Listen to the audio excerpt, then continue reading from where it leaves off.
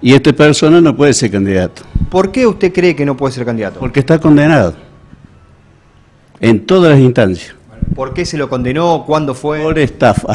La última condena la que registra es el día 28 de diciembre, el Día del Inocente, pero que no le dijeron que él era inocente, le dijeron que era culpable, que era autor y no apeló más.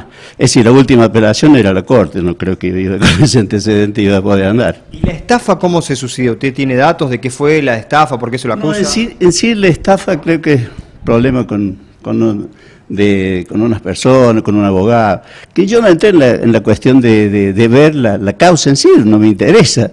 A mí lo que me interesa, es lo que he visto, es que está condenado, pues, ¿Esto fue por algo que pasó en 2010?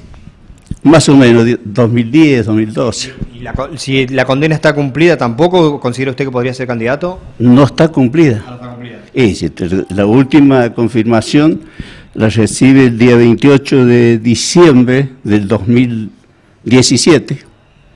Dos años y seis meses. Más a eso tiene que agregarle un tercio. ¿Y usted pudo hablar con el Tribunal Electoral? ¿Le hizo llegar esta denuncia? No, yo fui, le presenté la, la, la- la presentación y listo.